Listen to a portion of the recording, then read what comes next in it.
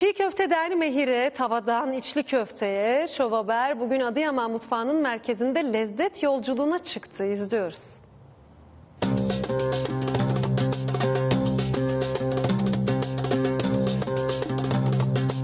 Şu an evde 7-8 yaşındaki çocuklarımız bile çiğ köfte yoğurmaya başlıyor. Neler var sofrada? Adıyaman tava Olmazsa olmaz mı? kesinlikle. Ondan sonra Adıyaman mihiri, kavurma, içli köfte, Adıyaman kavurmalı hitap.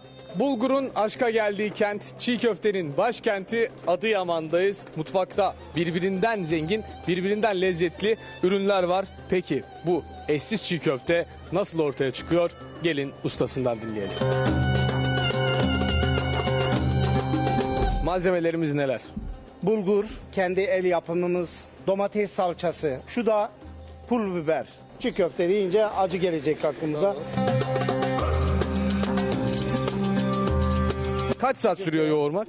20 dakika. 20 dakika mı? Evet. Nasıl ya? Çiğ köfte 20 dakika. 20 dakikayı geçmeyecek. Çiğ köftenin tatini bileceksin. Bilmeden köfteyi ne kadar yoğursan yoğur boş. Vururken destek gücünü vereceksin çiğ köfteye. Bakayım abi senin kaslara. Ay maşallah.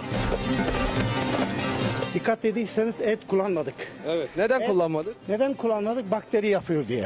Urfa'da kullanıyorlar. Urfa'da kullanılıyor. Onlarınki daha mı iyi acaba?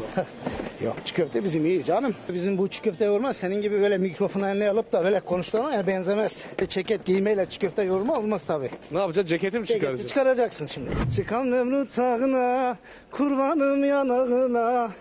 Ah lelele sakine. Herkes bildiği işi yapsın? Kesinlikle. Muzaffer Usta öyle bir güç uyguluyor ki çiğ köfte leğenini iki kişi zor tutuyoruz. Olmuş mu? Çerez gibi. Ciddi misin? Çok güzel. Vay.